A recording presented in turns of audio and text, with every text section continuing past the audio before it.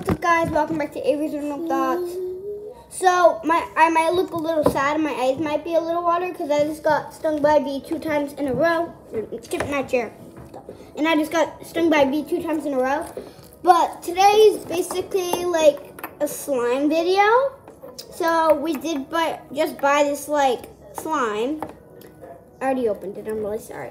But, it's like this slime, but it comes with this so you can blow bubbles with it. And I wanted to show you guys. Me, show them your pink one. Got But I have this blue slime. And watch, this is what you do. So it comes with this little, this little stick. And you It's put it straw. inside. And then you can blow bubbles. That's right. It's actually meant for that though. Hi So- guys, this is my pink slime. Yeah, you can put that. one. Oh, that's big. Can I pop it? it's bigger than your face. It's than my face.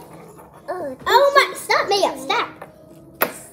See what happens when you touch me? You don't listen. it's Now my slimes are. I know. That's why I don't want to touch my stuff.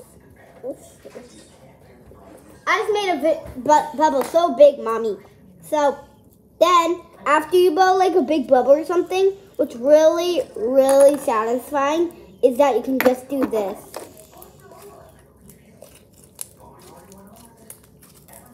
And it is so nice. Okay, here we go. Die. I'm gonna try to blow a big bubble now. But you just did a one bigger than. Okay, yeah. Well, that's it for this video. I'll see you guys later. Bye.